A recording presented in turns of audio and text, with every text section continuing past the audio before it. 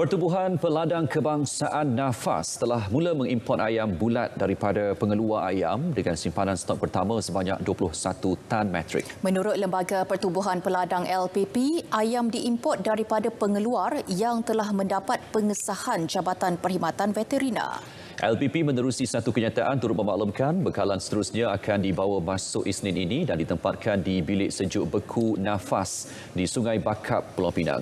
Nafas dan Gabungan Pertubuhan Peladang Negeri berperanan melaksanakan program stok penimbal ayam bagi tujuan menstabilkan keperluan bekalan ayam negara.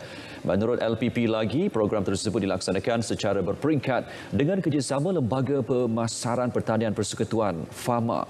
Sementara itu, pengedaran ayam pula adalah melalui jaringan rangkaian Pertubuhan Peladang Negeri PPN dan Pertubuhan Peladang Kawasan PPK dan FAMA.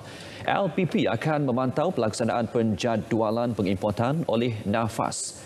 Tiga PPN iaitu PPN Selangor, Johor dan Perak dikenal pasti bagi membantu NAFAS menjayakan program tersebut dengan beberapa PPN lain akan turut sama dilibatkan mengikut keperluan semasa.